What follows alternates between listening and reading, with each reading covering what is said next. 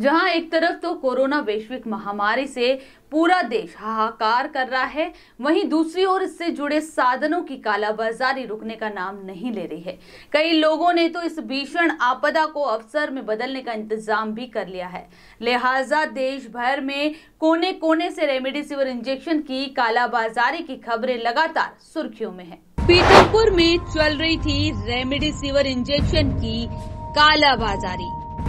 Pithampur hospital का doctor Narendra उर्फ़ आनंद और हार्डवेयर संचालक चंद्रेश जैन चढ़े पुलिस के हत्थे।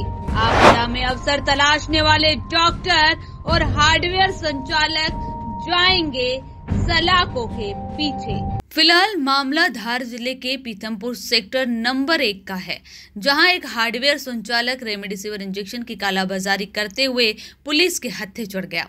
हैरत की बात रही कि इस कालाबाजारी में हार्डवेयर संचालक चंद्रेश जैन पीथमपुर अस्पताल के डॉक्टर आनंद राज के साथ सांठ गांठ कर इंजेक्शन बेच रहा था। बताते चले कि चंद्रेश ने पुलिस की पूछताछ में खुलासा किया कि वह इंजेक्शन डॉक्टर आनंदराज के साथ मिलकर बेच रहा था। आपको बता दें कि कालाबाजारी करने वाले ये लालची एक इंजेक्शन को चौबीस हज़ार और दो इंजेक्शन को बयालीस हज़ार में बेच रहा था।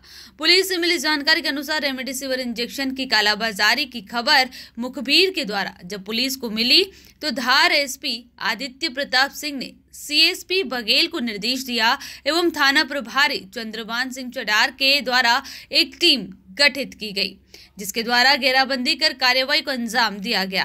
फ़िलहाल दोनों ही आरोपियों पर मुकदमा दर्ज कर पूछताछ जारी है। एक तो आपके चैनल के माध्यम से मैं पीतमपुर की जनता से अपील करता हूँ कि मास्क लगाएँ, सोशल डिस्टेंस का पालन करें और हमेशा साबुन से हाथ धोते रहें।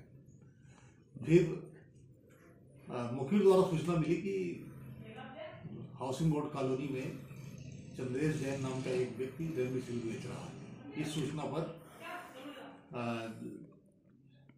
T I Chandrabhan Singh Chadhar Chadhar, sector one, और उनकी टीम को वहाँ भेजा गया, जो उन्होंने रगे हाथ उसको पकड़ लिया। उसके बाद से दो रेमडेसिविर मिले।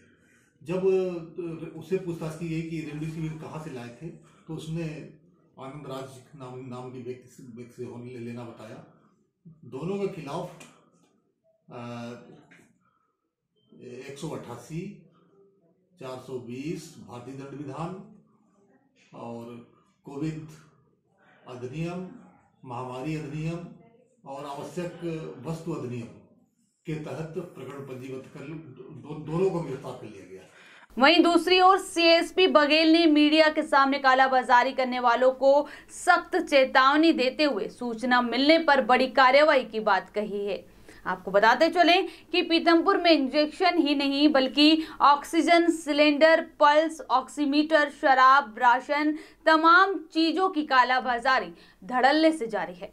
देखने की बात होगी कि तमाम शिकायतों के बाद पुलिस प्रशासन किस तरह की कार्यवाही आगे भी जारी रखता है।